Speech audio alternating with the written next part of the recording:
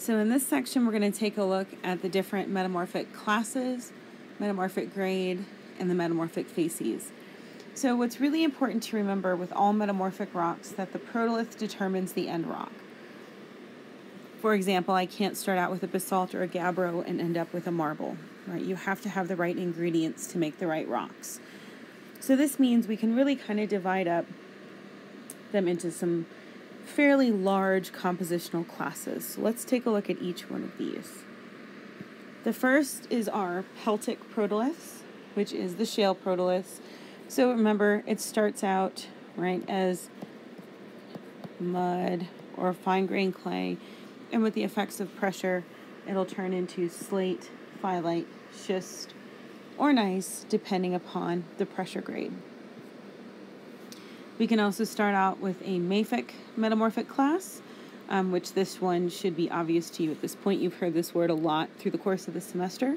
That that's going to be basalt or gabbro. Okay, so it's going to start out as our low silica igneous rock. And as we mentioned, that's going to turn into um, our amphiboles, our amphibolites, and we can also see um, biotites in there, which remember are the mafic varieties of our micas. We can also have a calcareous protolith, which is carbonates. This is mostly our limestones and dolostones, so it's going to start out mostly as calcite, right, and it can turn into that marble. And then we can have this fancy sounding one here, our quartzo-feldspathic, which hopefully you recognize that that means it has a lot of quartz and a lot of feldspar, which is basically granite. Okay, so when we take granite, um, it's really pretty stable under any kind of metamorphism because it's a pretty durable rock.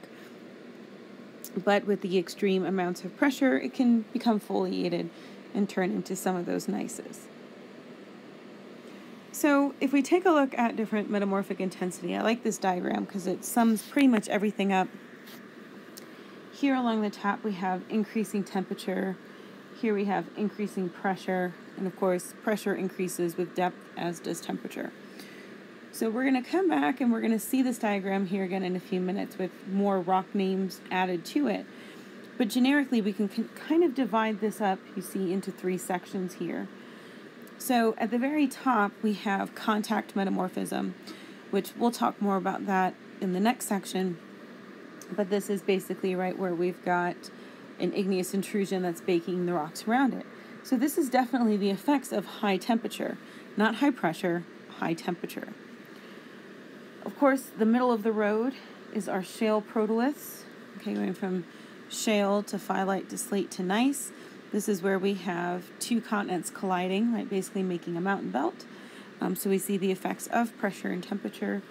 And then on the extreme end over here, we have subduction, which actually makes its own fairly unique uh, foliated rocks down here. But as you can see, these are these rocks are experiencing more pressure than they are temperature. So where we see that increasing temperature and pressure, we call this prograde metamorphism. This is basically what we see with um, slate, phyllite, schist, and gneiss. That as you continue to bury the rock and it experiences higher pressures and temperatures, it changes in a very predictable manner to the next one. Right, so as we start with shale, we can go to phyllite, schist, and gneiss. Retrograde is basically the opposite where we have metamorphism that happens due to decreasing temperature and pressure. And this is basically going to happen due to you know, those phase changes. As we take a rock and bring it up really quickly, right, exhume it really fast, um, it experiences those low temperatures and low pressures. And some of those rocks just might not be stable at low pressures and temperatures. And that will cause them to metamorphose. Of course, we can take a look at index minerals, and we kind of I kind of mentioned this with Bowen's reaction series that it's really important to understand the different zones in which our metamorphic rocks form.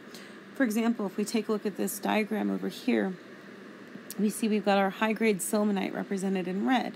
So that means this whole area in here experienced very high temperature and very high pressure. And of course, as you move away from this region, you see it gets to more low grade. So, as a historical geologist, I might want to try to figure out what happened to this region, you know, 500 million years ago to cause these rocks to form in this manner. So now we can really kind of come back and fill in that metamorphic facies. So here we see that same diagram from before, but with the actual rock names on there, right? You see hornfels and green schist and amphibolites and blue schist and eclogite. So our different mineral names.